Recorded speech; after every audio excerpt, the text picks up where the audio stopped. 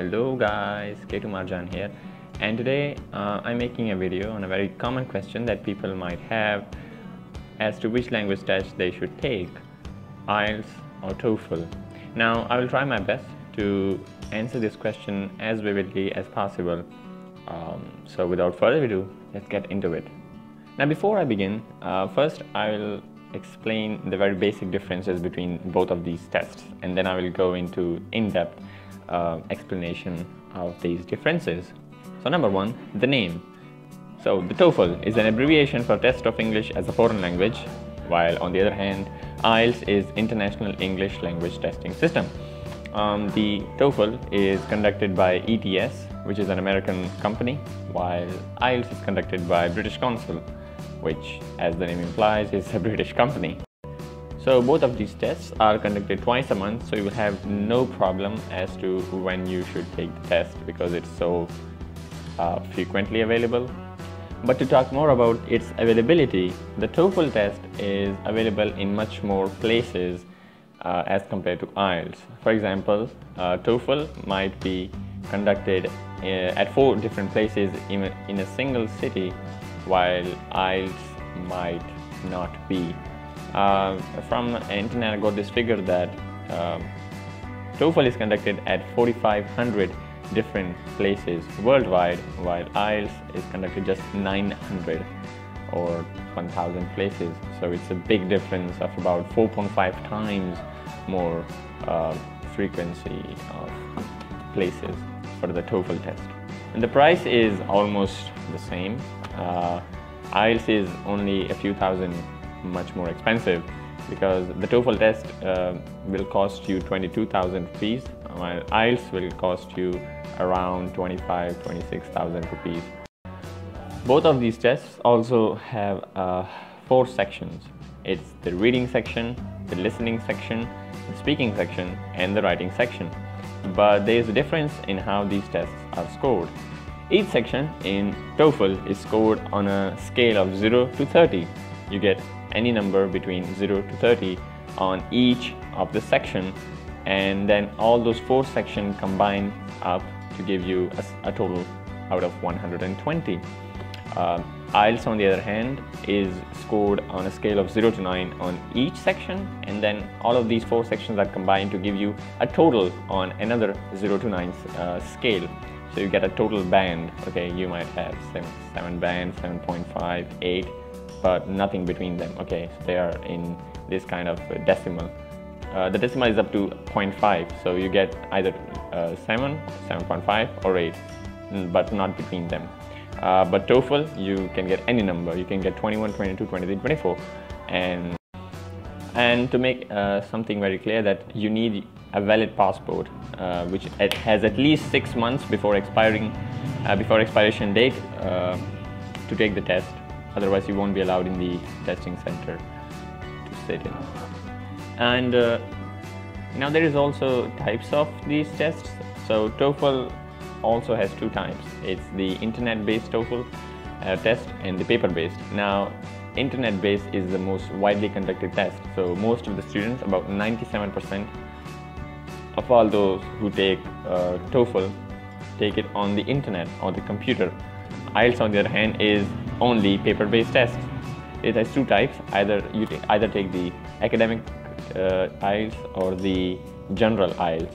The general IELTS is for if you want to uh, work in a foreign company uh, and it's not for educational purposes but if you want to go to, uh, abroad for educational purposes you take the IELTS academic or you take the TOEFL iBT.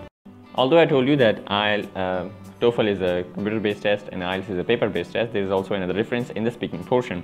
Uh, on the TOEFL, on the speaking portion of TOEFL, uh, you will hear a question or you will have some paragraph and then you'll have to give your opinion about it. And you speak your answers in the headphone and they get recorded.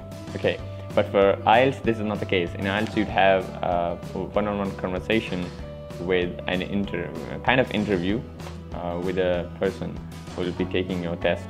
Now what I said about the timing, that TOEFL is a four hours long test. Uh, it has a break of 10 minutes after the first two sections, the reading and listening section, you get 10 minutes of break and then you um, go on to the remaining part of the test. While in IELTS, you do not have any break. Okay, you go directly for the write reading, listening, and writing section, and then for the speaking portion, uh, you either have it seven days after after the test, seven days before the test, or maybe on the very same day. It depends on uh, the uh, the organization how they schedule your speaking uh, part.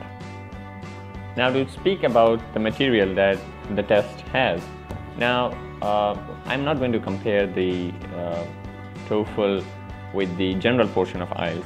I'm going to compare TOEFL because it is entirely academic based test uh, with the uh, academic version of IELTS. Okay, in that perspective, TOEFL is a tough test as compared to IELTS. Uh, the material is really tough, especially the reading portion.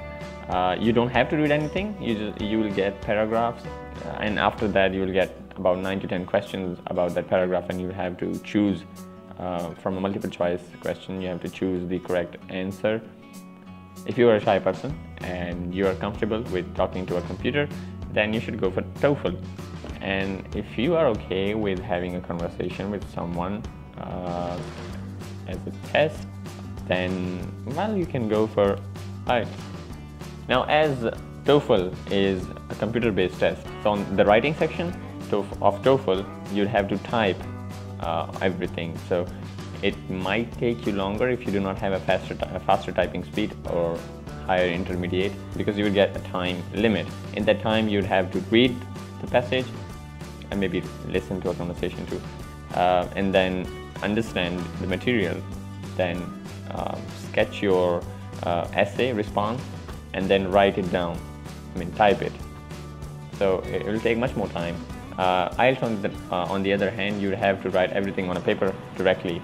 So uh, those who are comfortable with writing with their own hand uh, can, should go for IELTS, and those who can type, who think they, that they can manage. Uh, if you think that you don't do not have a faster typing speed, then I recommend you IELTS. Now, although TOEFL is a computer-based test, you get scratch paper to uh, take notes and you can ask for as many pages you want. There is no restriction on pages. You get pencil, you get page. Only thing required is your attention. In TOEFL test, when you are having your uh, speaking section in which you would have to speak to record your answer, uh, there will be students right next to you uh, who would also be having speaking tests. So they will be talking too. You would have only 15 seconds to uh, uh, to structure your answer, um, and you can get offended. Then I think uh, TOEFL is not the choice for you because in case of IELTS, you would be sitting in front of a person in a quiet room. So it's totally up. A big advantage for TOEFL is that if you see some difficult word and it is highlighted, then you can click on that word and will show you the meaning of it in English, of course. Uh, but this is not the case with IELTS. Now, these both tests also differ in their accent.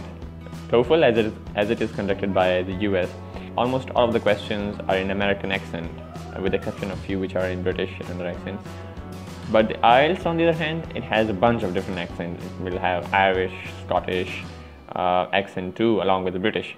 So if you have never heard those accents, then it can be a bit difficult for you.